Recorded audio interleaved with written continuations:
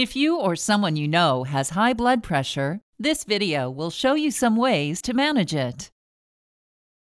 In most cases, the cause of high blood pressure or hypertension is unknown. This type of high blood pressure is called primary or essential hypertension. Treatment for it includes lifestyle changes such as eating a healthy diet. If you are sensitive to the sodium in salt, your doctor may tell you to eat less salt and processed foods.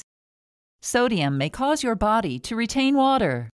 This increases the amount of your blood and makes your blood pressure go up.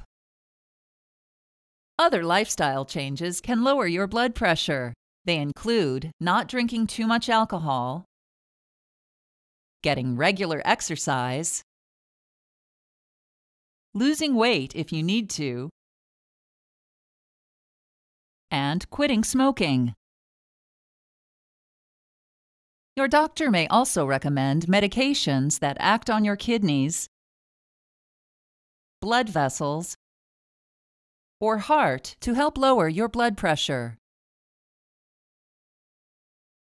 Diuretics, commonly called water pills, cause your kidneys to move more salt and water from your blood into your urine.